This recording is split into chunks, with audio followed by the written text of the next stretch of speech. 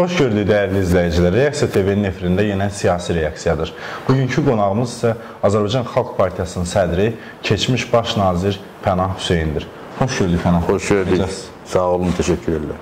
Pənah bəy, son günlər e, bir belə deyək, maraqlı bir e, hadisə ilə gündəmə gəlmisiniz ki, bir neçə partiyaların birgə fəaliyyəti ilə islahatlara doğru köklü islahatlarla dəyişikliyə doğru. Dəyişikliyə doğru bir tədbir də keçirilmişdi. Dərin masa bəli. Dərin bir masa. Nədir burada təşəbbüs? Nədir burada bu tədbir? Ya, bu əslində bu otaqda bunun əsası qoyulubdu. Hələ yanvar ayında e, bir qrup siyasi partiya burada ölkədəki aktual ictimai siyasi məsələləri müzakirə edibdi və mütəmadi olaraq toplanıb bu o, müxtəlif mövzularda bu cür məsləhətləşmələrin e, aparılması e, məqbul sayılıbdır, məqsədəvun sayılıbdır. Sonra mart ayının 30-da səhv eləmirəmsə Milli İstiqlal Partiyasının qərargahında belə bir toplantı olubdu. Orada da Qarabağ məsələsi ətrafındakı hərbi siyasi vəziyyət və Azərbaycan cəmiyyətinin bu məsələdə rolu mövqeyi barədə ə, e, fikir mübadiləsi aparılıbdır, sənəd qəbul olunubdur bu mövzuda və orada da qərarlaşmışdı ki, Biz isə digər məsələlər ətrafında, konkret milli təhlükəsizlikdə bu dil problemi, dil, dillə bağlı, konkret rus dili ilə bağlı və milli təhsil, milli dil məsələsinin vəziyyəti ilə bağlı bir tədbir təşkil olunsun. Bunu Demokrat Partiyası özlərinə götürmüşdü. Milli İstiqlal Partiyası və Xalq Partiyasından da həval olunmuşdu ki, o dövrdə artıq ə, sosial, iqtisadi, siyasi islahatlar teması ciddi bir şəkildə gündəmə gəlməyə başlamışdı. Prezidentin də mart ayının 19-unda bir çıxışı olmuşdu və orada ölkədə ə, sosial iqtisadi və siyasi islahatlar davam etdiriləcəkdir tezisi səslənmişdi. Belə bir ə, demək, ə, bununla əlaqədar da bu mövzuda bir ə, demək, ə, tədbirin keçirilməsi nəzərdə tutulmuşdu və Xalq Partiyası və Milli İstiqlal Partiyası da bunun təşkilatçılığını etdilər. Sonradan bu ölkədəki ə, bu siyasi partiyalar arasında müəyyən ə, demək, münasibətlər, bu məsələyə, müzakirələrə, bu temaya ümumiyyətlə, bu cür tədbirlərə münasibətdə siyasi müəyyən ola bilsin korporativ maraqlarla mənim fikrimcə şərtlənən və ya anlaşılmazlıqdan irəli gələn müəyyən nüanslar meydana çıxdı və bir ajotaj yarandı. Əslində bu əvvəlcədən qərarlaşmış bir tədbir ətrafında və bu müxalifin, ola bilər iqtidarın da müəyyən texnoloqlarının sayəsində bu bir növ həm də bir iqtidar daxili növbəti hesablaşmalar dırnaq arasında üçün bir əsas oldu. Amma hər halda mənə elə gəlir ki, son dövrün və son ümumiyyətlə ən son günlərin də ən ciddi hadisələrindən bir siyasi hadisələrdən biri baş verdi. 12 siyasi partiyanın nümayəndəsinin iştirakı ilə demək belə bir mövzuda, belə bir temada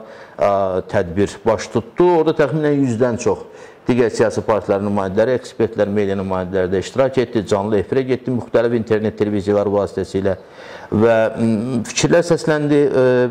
Bir neçə Milli Məclisin üzvü iştirak elədi, partiya sədrləri olan Milli Məclisin üzvləri və qərarlaşdı ki, bu temada, bu mövzuda, bu formatda genişləndirilərək əlbəttə ki, bu proses hərəkət davam etdirilsin. Bir işçi qrupun yaradılması haqqında hətta orada səslənən fikirlər ortalığa müzakirəyə təqdim olunan, o elə temanın adı ilə olan müzakirədə bir sənədin üzərində də iş geçsin Mən bir daha təkrar edirəm, mən bu e, hadisənin nə çox şişirdilməsinin tərəfdarıyam, nə də onun əhəmiyyətinin azaldılmasını e, sayıram. Hesab edirəm ki, yaxın aylarda Azərbaycanda siyasi trend, siyasi meyllər təxminən bu dünənki hadisədə e, görünən xeyli dərəcədə şəkildə inkişafını davam etdirəcəkdir. Bir sual vermək istəyirəm. Əsas tərəfdaşlarınızdan biri Amibdir ki, 14 ildir ölkənin siyasi həyatında demək olar ki, yoxdur son günlər bir e, qurultaylar da keçirilməyib. E, və daha sonra Böyük Azərbaycan Partiyası Elşad Musayevdir ki, son 2 ayda qəribə belə deyək, müşahidələr etdiyi ondan əvvəllər Əli İnsanın e, Hüquqları Müdafiə Komitəsinin sədri idi. Sonra həbsdən çıxanda izlədik ki, Əli Gəlin burada olmayan şəxslərdə sual formasında Yox, yəni, təsbitlər eləməyəm. Mən mən doğru saymıram. Tərəfdaşlar icazə verin, icazə verin. Yox, mən xahiş edirəm. Sual qısa indi siz professional jurnalistsiniz, xahiş edirəm. Hə, bir qısa sual verin, bəli. Ə, misal üçün AMİF-in lideri 2 dəfə Yeni Müsavat qəzetində Kemaləddin Heydərovun baş nazir olmasını təklif eləmişdi. Mən Eldar bəy, üzr istəyirəm. Burada olmayan adamlar haqqında sual formasında təsbitlər eləməyin və mənimlə müsahibə eləyərək. Mən bunu doğru saymıram. Yox, bunu deməyə vacib bildim. Tərəfdaşlarınız bəli. Və bu tərəfdaş sözünün də e, konkret olaraq tədbirin hazırlanmasında biz bəli o partiyaların nümayəndələri ilə, sədrləri ilə bir yerdə iştirak eləmişik. Hazırda Milli İstiqlal Partiyasının sədr əvəzi nizamnaməyə görə Arzuxan Əlizadə aparır. Böyük Azərbaycan Partiyasında sədr əvəzidir. İndiki onun statusu ondan ibarətdir. Sədr hələlik seçilməyibdir. Böyük Azərbaycan Partiyasının da sədri demək hörmətli Elşad Musayevdir. Bir daha təkrar edirəm. Bu tədbir haqqı keçirilməsi haqqındakı qərar hələ yanvar ayından başlanan bir prosesdə gedən bir hərəkətin nəticəsi idi. Hələ yanvar ayında da burada Milli İstiqlal Partiyasının nümayəndəsi iştirak eləmişdi. Daha sonra mart ayının 30-da ümumiyyətlə Milli İstiqlal Partiyasının qərargahında keçirilmişdi və orada 14 iştirak edən 14 siyasi partiya nümayəndəsinin birgə qərarı ilə bu məsələ demək, e, e, gündəmə gəlmişdi və icra da olundu. Ona görə də bunun hansısa bir şəkildə necə deyirlər, başqa cür hallandırılmasını mən doğru saymıram. Yəni ola bilər ki, sizdə informasiya yoxdur. Burada əsas məqsədiniz nədir? O ki qaldı konkret Milli İstiqlal Partiyasının və Böyük Azərbaycan Partiyasının ə, ə, işi ilə bağlı olaraq O mən hesab edirəm daha doğru və etik olar ki, onların özlərinə sual verib cavab istəyəsiz. Əgər siz üçün aydın olmayan məsələlər varsa. Hə, sualınız başqa nədən ibarətdir? Bu əsas məqsədiniz nədir? Məqsəd bir daha təkrar edirəm. Bu istiqamət bu məsələ barədə cümlədən məqsəd barədə həm bizim dünən müzakirəyə çıxartdığımız sosial şəbəkələrdə, müxtəlif saytlarda dərc elədiyimiz sənəddə öz əksini tapıbdı. Həm də ki, çıxışlarda bu ifadə olundu. Bir daha qısaca bəzi Bəli, məsələlər sizin sualınızdan istifadə edib e, məsələyə e, aydınlıq gətirərəm. Bir daha təkrar edirəm, hal-hazırda cəmiyyətdə dəyişiklik edilməsi məsələsi ümumi bir meylə çevrilibdir. Bu cür yaşaya bilməz ölkə. Həm sosial, həm iqtisadi, həm də siyasi sahədə dəyişikliklər aparılması labüddür. Ölkədə müəyyən e, demək e, məhdud xarakterli, əsasən sosial e, demək məsələlərə əhatə eləyən, sistemli olmayan dəyişikliklərlə vəziyyətdən çıxmağa cəhd edən müəyyən bir iqtidar texnoloqları, dairələri, ideoloqları var, siyasətçiləri var.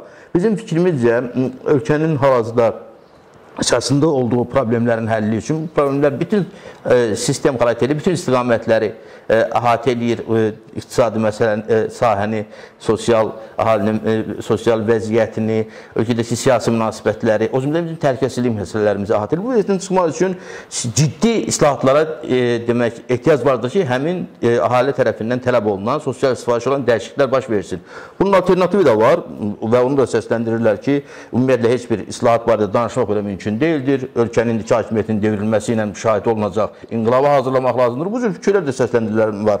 Və yaxud da iqtidar dairələrində də hər cür islahatlar, heç bir islahata getmək lazım deyil, dəyişikliyə getmək lazım deyil. Bu zəiflik kimi dəyərləndiriləcək. Ona görə də bu dəyişiklik və islahat tərəfdarlarını repressiya vasitəsilə əzmək lazımdır ki, bu status quo davam etdirilsin. Bu cür düşünənlər və bu cür konkret olaraq təsir göstərən də var, e, proseslər, dairələr də var.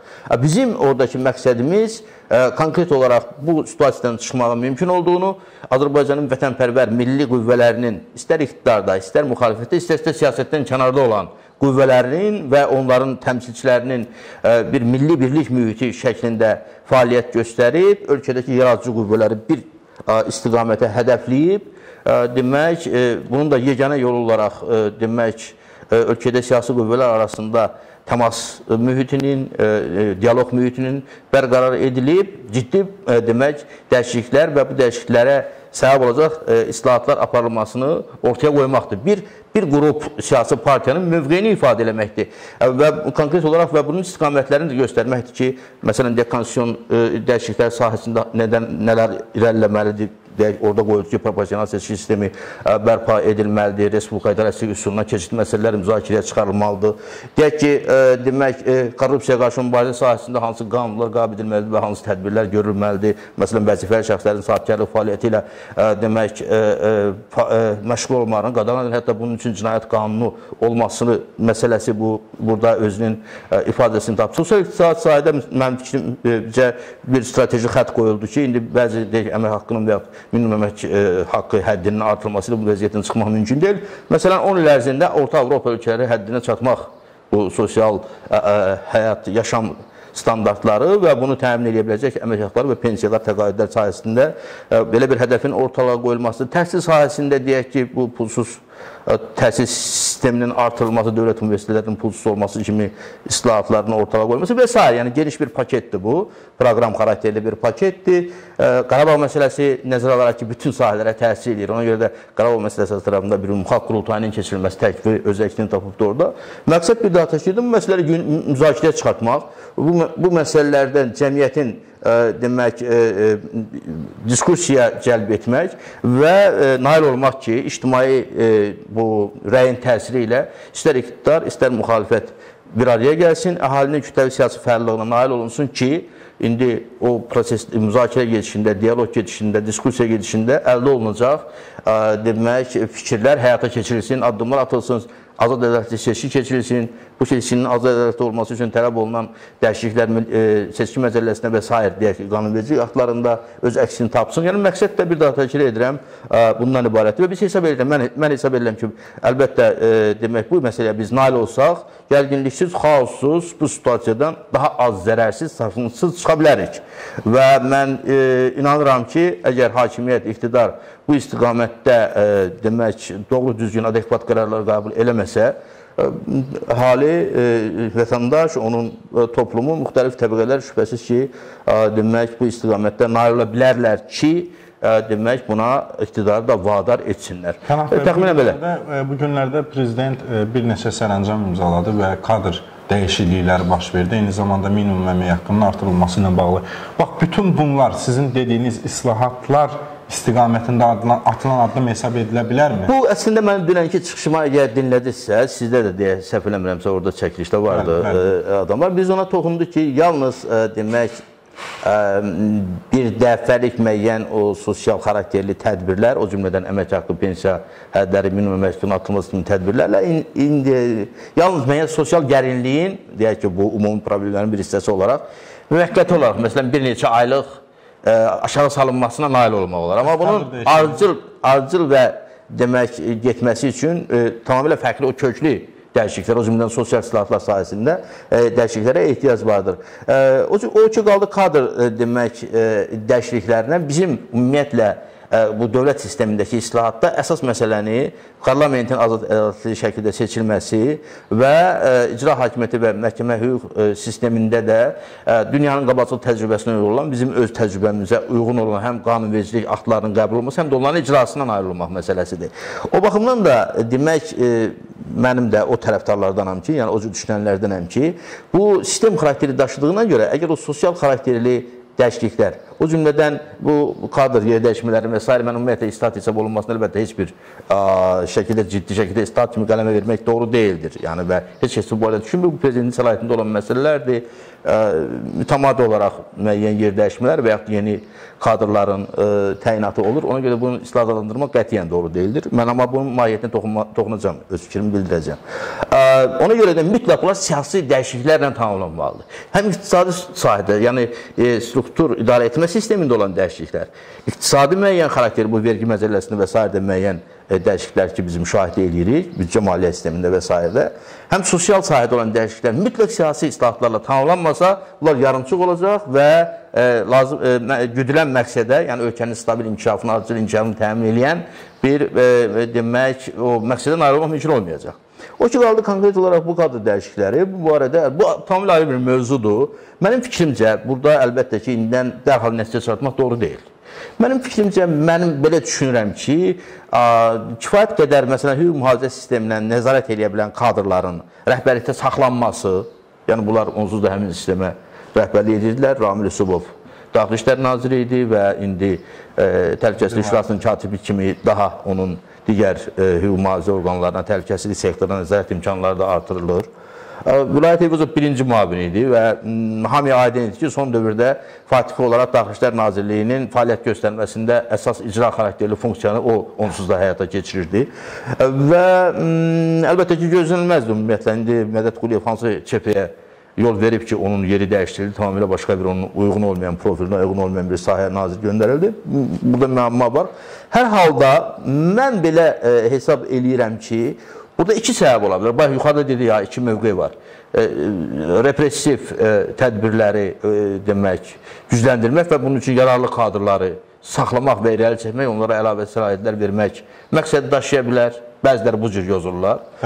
Mən mən bunu belə ə, demək istəyərdim, arzu edərdim ən azı və hesab edirəm ki, bu da mümkündür ki, müəyyən açılımlar ola bilər. Demək o cümlədən demokratlaşma istiqamətində siyasi yəni açılımlar ola bilər və belə bir açılımlar olacağı bir şəraitdə ölkədə stabilliyin pozulmasından ola bilsin ki, narahatlıq keçirirlər hakimiyyətdəki müəyyən dairələr. Ona görə də bu demək stabilliyin pozulmasının bir növ qarşısının alınması üçün indi özlərinin yəni düşüncə və mülahizələrindən irəli gələrək sınanmış, e, daha sərt repressiv deyək metodlardan vaxtı ilə istifadə etməkdə özünü göstərmiş kadrları həm saxlayırlar, həm də irəli çəkirlər. Mümkündür, yəni bu da olsun. Bir daha təkid edirəm, amma bu bir daha təkid edirəm. Dərhal bu cür e, bu kadr dəyişikliklərindən irəliyə gedən uzun e, demək, belə ciddi strateji nəticələr çıxartmağı mən doğru saymıram, ciddi saymıram. Pənah bəy, e, təşəbbüslər irəli sürmək hələ nəyəsə nail olmaq demək deyil və bu təşəbbüslər irəli sürülərkən də gərək qarşılıqlı əlaqə olsun, qarşılıqlı işbirliyi olsun. Məsəl üçün siz bu təşəbbüslə çıxış etmisiniz, səhv etmirəmsə, bunu da istinad etmisiniz prezidentin 19 mart çıxışına. Qətiyyən. Mən elə bil elə rastlaşdım. Kim ə, elə deyil. İslahatlarla bağlı. Hə, mənim çıxışım da olmuşdu baxmayaraq ki, mənim mənə istinad edirsiniz, yoxsa hə. digərlərinə? Yox, siz mənə yəni, yox, mən mən bildirdim ki, baxmayaraq ki, 19 martda prezidentin bayram o çıxışında sosial və iqtisadi islahatlarla yanaşı siyasi islahatlar davam etdiriləcəkdir, müddəası işlənmişdir. Lakin hələ də ölkədə heç bir siyasi islahat aparılmır ümumiyyətlə, hətta imitasyon xarakterində siyasi islahatlardan danışmaq mümkün deyildir və ona görə də o digər başqa sahələrdə hətta məhdud islahatların da effektiv axıra qədər verəcəyini gözləmək olmaz. Sual Mənim fikrim bundan ibarət olur. Bundan Bəli. ibarətdir ki, bu qarşılıqlı əlaqənin təşkil olunması. Sizdə bu necə təşkil olunur? Biz də təklif vermişik. Yox, biz biz müxalifətdən olan millət vəkilləri siz bu əlaqələri təşkil yəni, edirlər ki. Yəni ümumilikdə ümummilli bir ə, demək o dediyiniz qarşılıqlı bu məsələlərdə, proseslərdə əlaqə azad ədalətli seçki seçkilər ə, e, deməli nəticəsində təşkil olunacaq hakimiyyət qurumları vasitəsilə ən effektiv forma kimi baxıla bilər. Məsələn, normal azad ədalət demokratik seçki seçilsə, bütün bu prosesdə parlament şəklində parlamentdəki müzakirələr, oradakı müəyyən təmaslar, fikir mübadilələri, diskussiyalar vasitəsilə ən effektiv şəkildə həyata keçirilə bilər. Yəni, bu bir icazə verir. Amma biz, amma amma biz dünənki o sənətdəki təqdim elədik müzakirəyə, orada başqa bir konkret təklif də var ki, islahatlar mühitində ə, ümummilli dialoqun təmin olunması, o cümlədən hakimiyyət və müxalifət arasında. Ə, onun bir təşkilatı forması olaraq prezident yanında İslahatlar Şurası şərt olaraq ad şərtidir. Bəli. Yarana bilər və orada istər partiya sədrləri iqtidarlı, müxalifətli, istər ayrı-ayrı ekspertlər, vətəndaş cəmiyyət təşkilatları, gənclik hərəkatının nümayəndələri, ziyalılar və s. iştirak edir. Və belə bir məsələ, məsələn, Rusiyada İctimai Palat tipli belə bir qurum var, təsisat var. Əslində çox yaxşı təklif. Belə bir təklif bunun təşkilatı forması kimi ola bilər. Əslində bu yeni bir təklif də deyil. Dəfələrlə səslənib xüsusən prezident yanında İctimai Palatanın təşkil olunması şəklində. Məncə bunun konkret olaraq bir profilli, yəni konkret islahatlar məsələsini məsələsi ətrafında müzakirələri, diskussiyaları təşkil edə biləcək, o sizin dediyiniz kimi müəyyən təmasları yarada biləcək bir forma kimi baxıla bilər buna. Və e, bir sual da vermək istəyirəm, yekunlaşdırırıq müsahibəmizi. Siz dünənki çıxışınızda mən baxdım ki, sonda belə bir fikir ifadə elədiniz ki, burada iştirak eləməyənlər radikal müxalifətin nümayəndələridir. Yox, siz nə isə çox ciddi bir şəkildə qulaq asmamısınız həmin çıxışlara. O belə bir fikir. İcazə verin, yox, icazə verin. Mən ona etiraz elədim. Çünki orada bir neçə çıxışda fikir səsləndi ki, burada iştirak eləməyən siyasi partiyalar söhbət konkret müxalifət partilərindən gedirdi. Məsələn, özdə bütün müxalifət partiyaları dedi, söhbət mənə elə gəldi ki, və hesab edirəm doğru da gəldi, söhbət AXCP-dən, müsavatdan birinci növbədə gedir. Çünki məsələn, hörmətli ə, Sərdar bəy də iştirak eləmir. Demokrat Partiyası heç bir halda heç kəs tərəfindən radikal müxalifət partiyası kimi qəbul olunmur. Məncə qəbul da Sərdar bəy də bunu heç vaxt Və mən orada orada bəzi fikirlər səsləndi ki, burada iştirak etməyən bəzi partilər, məndə də təəssürat belə oldu ki, söhbət gedir konkret olaraq Azərbaycan Xalq Cəbhəsi Partiyası, Müsavat Partiyasından və mən bildirdim ki, bu prosesin gedişində, yəni tədbirin hazırlanması məsələsi barədə mənim hər iki partiyanın liderləri ilə söhbətlərim olub, görüşlərimiz olub və məndə yaranan bir mənalı təəssürat ondan ibarətdir ki, heç bir partiya və yəni konkret adını çəkdiyim partilər və onların liderləri ölkədə xaosda, demək, gərginliyin yaranmasına maraqlı deyildir. Fərqli mövqeləri vardır bu prosesdən, bu problemdən çıxış yolları barədə və əlbəttə ki, onlara da hörmətlə yanaşmaq lazımdır. Yəni mən sizin o eş, ola bilər ki, diqqət eləməmişsiniz, ya sizə düzgün çatdırmıyordum. Tamamilə fərqli bir kisədən demişəm. Belə e, Pənah bəy, bu son sualdır. Bu ictimai rəydən doğan bir sualdır ki, mən dünən izləyirəm dünəndən e, sizin o müsahibəyə yazılan rəyləri ki, deyirlər ki, deputat olmaq istəyirsiniz. Valla mən baş nazir olmuşam, dövlət katibi olmuşam, deputat da olmuş, ə, olmuşam. Bu ömründən bu deputat olmayan və yaxud hətta bələdiyyə də seçilməyən adamlar ın ə, fantaziyalarından irəli gələn məsələlərdir. O qədər ciddi yanaşmaq lazım deyil ona. Çox Mənim indi Pənah Hüseynin indiki statusu deputat statusundan çox-çox yüksəkdir. Çox sağ olun. Təşəkkür edirəm mən də. Sağ olun. Belə dəyərli izləyicilər, bugünkü siyasi reaksiyanın qonağı Azərbaycan Xalq Partiyasının sədri Pənah Hüseyn idi.